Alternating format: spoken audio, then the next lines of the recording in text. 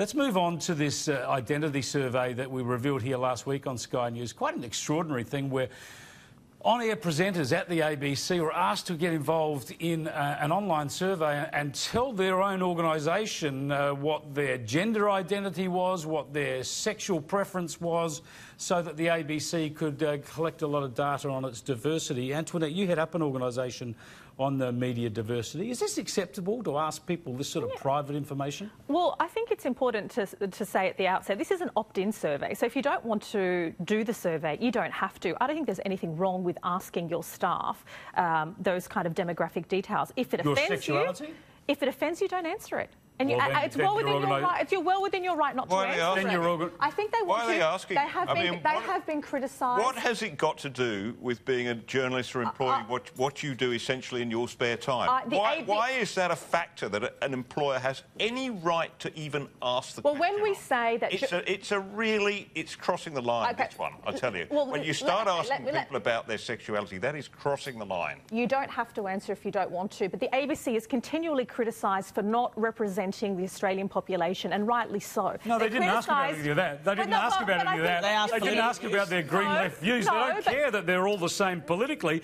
They're just going for this uh, identity politics stuff. Can, can, I speak? Can I, some, can I just say, as the only person to my knowledge on this panel who actually employs people and has done for the last 17 years, what Nick is saying is absolutely true. If I asked my staff, oh, look, here's a, here's a survey that I wanted to do, guys, you don't have to answer it, um, but it's a really personal nature. I can tell you what would happen right now, and it would not be good. The second thing about it is, as an employer, I look for the most skilled people, I look for the most experienced people. I don't care what their politics are, I don't care what their sexuality is, I don't care about those personal things, I care about their capacity to do their job, the content of their character. I don't care whether they were born born in Broome, Bangladesh, or you well, I, I, I, I have to care. I have to disagree here because it isn't always it isn't always a meritocracy. Imagine it, it isn't a meritocracy necessarily in the media. Often it is uh, a path, uh, informal pathways to getting this those jobs. This is not about recruitment. This is about asking the people you already employ years. what their sexuality is. But you if don't have to answer. News, Let me. Can, if can, News can Corp, I? Can if I, News Corp surveyed, answer? if I think you've had a go. If News Corp surveyed staff across Australia and asked them what their sexual preference was, there would be outrage in this country, and rightfully so. Yeah. But 100%. Okay, I, be 100%. I believe that we need a more diverse and representative media so we are more connected to our population. That's so we fine. Tell no one just got, What has that got to do with sexuality? To, they are trying to measure. They what, why is that now a legitimate, a legitimate minority group that needs protecting? Are you telling me that the ABC would not employ somebody because they're gay? No, no, absolutely. It's the not contrary. a factor. They, they wouldn't. They wouldn't the ask contrary. the question. Why so would they? Why is it a what business do they have to know the sexuality that, of if, their staff? There's possibly no greater scrutiny of any organisation in terms of their makeup than the. Than the ABC. Uh, arguably, they might want to point to data they exactly. have. Exactly. point to proof. Well, but but but, but hang on. Uh, uh, Tanveer deals in these issues all the time, and you have some experience of identity politics and the way it plays oh, look, out. I don't agree with does it. I'm trying to play devil's advocate. Does no, no, an employer have the no. right to ask an employee absolutely not their sexual preference? Like, I employ people too, uh, Gemma. Certainly not as many as you do. Solid, and, there's, and there's no way. There's no way I would. There's no way I would anybody. I mean, is it, is it even legal? I don't know. I mean, he's, well, if you were if you were interviewing if you were interviewing them for a job, it would be illegal. Yeah, yeah, yeah. Uh, but uh, I, I, just I just think well, it's. Let's, let's, get some real diversity. Let's get the ABC to ask a question. You, did you vote Labor or did you vote uh, Liberal at the last election or Green or you know? Then they can maybe balance up the, the debate a bit that way. That to me would be a better thing. But look, the whole point about this is, and and I think Gemma made the point you just want the best person for the job. When Qantas exactly now, right. when Qantas is employing pilots based on their gender and other minority factors, I get scared. But I just on, want the best pilot on, to fly the plane. But based on frankly. the fact that there are so few culturally diverse journos in media, are, are, are, we arguing? Are you suggesting? What constitutes culturally diverse? Culturally, what, linguistically, what? culturally, linguistically diverse. Either, so, either being so born I, overseas. I was chief of Why does that? I was chief of staff in a commercial network for 11 years. Race doesn't matter matter. Thing. We looked for the Having, best people for the job. Why is the why best they so? People. But let's let's let's put race aside but that's for a part moment. Of the charter in the because we all know that that, yeah. that shouldn't matter.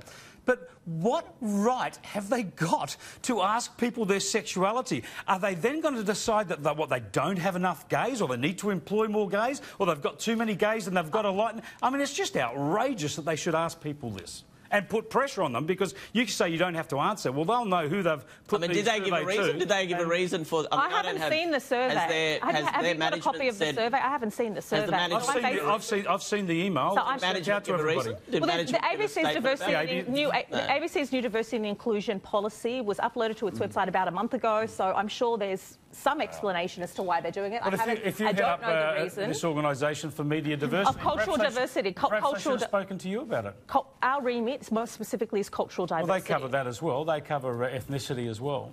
Yeah, well, we, we, we haven't spoken I to them think it's on, outrageous, on that, on that survey, but I, I absolutely believe that there, it isn't necessarily the best person for the job. You walk off the street, for example, in Ultimo, you come out of Chinatown, so many Asians and Indians and other nationalities, you walk into the ABC and there are no people of colour, almost no people of colour in that building. Are you telling Let alone me... colour. Are you Those telling me... political. This, this I- is an, Sorry, this is an there- there's a real there's a real there's a real age gap here because I was brought up to to, to, to think that to, to be told that colour doesn't matter. You shouldn't take any doesn't notice matter. of this. That's absolutely When I you don't. are the- when you- when you all are these the things that public you broadcaster- It's part of the ABC charter, Nick. and now they're making it a big issue. It's, it's an issue whether you're whether you're. We're talking. We're just talking about with the election. We are Person of talking about. We are talking about politicians, the media being out of touch with the Australian population. Exactly. When your media, when your own workforce doesn't reflect. nothing to do with your ethnic background. It's everything to do with your life Oh, experience and where you've been and and, your what life you've experience done. would be very different to mine as a daughter of refugees. Your life experience would be very, your story ideas would be very different to mine. And Your your work- I, don't, I, I, I don't. I just don't accept that classification at all. I do not. I mean, And yours is sure- valid. Sure, you do have a, bit, a different background. Absolutely or whatever, have a but- different and, and I have a different background. I've got a different background to Chris. But but you judge people according to what they add to your company, to your organisation, what That's they right. can bring professionally.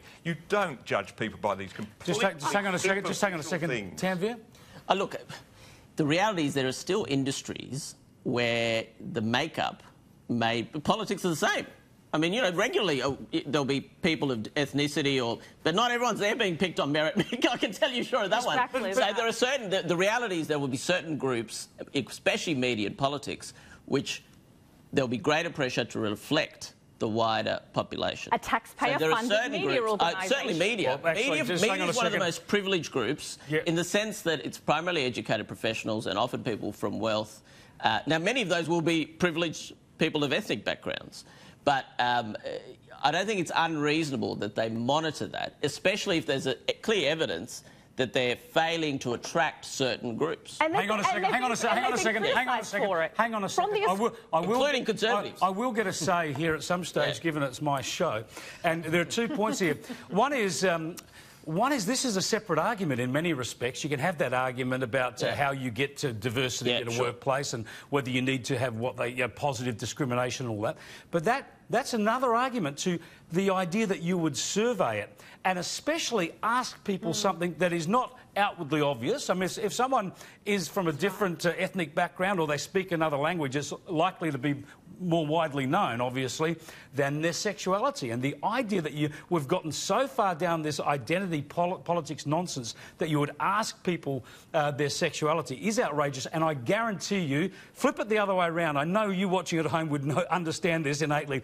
If News Corporation sent this email out to their staff Yes. and asked them to privately supply this information, the ABC and The Guardian and Channel 10 and the Sydney Morning Herald would be outraged about it.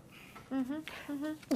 I I'm, I'm not as this is interested in the I've survey as I am broadly having more diversity in the media. People, whether you like the survey or not, whether you do the survey or not, is not the issue. For me, I think it's important that our media is more reflective and more connected to the Australian population. It matters on a political level. It matters on a then- representation then, then, level. you should it be matters- campaigning for uh, for ideological diversity at the ABC. It's an outrage. But they you- spend a billion dollars employing a couple But of I think- thousand I think people in once you get- I think once- and they have no And I- ideological diversity. Diversity of thought, diversity of thought, diversity of background, diversity of appearance, all of those matter. There's no point just having brown people who think the same as everybody else in the building. Well said, uh, Gemma. I heard you trying to jump in.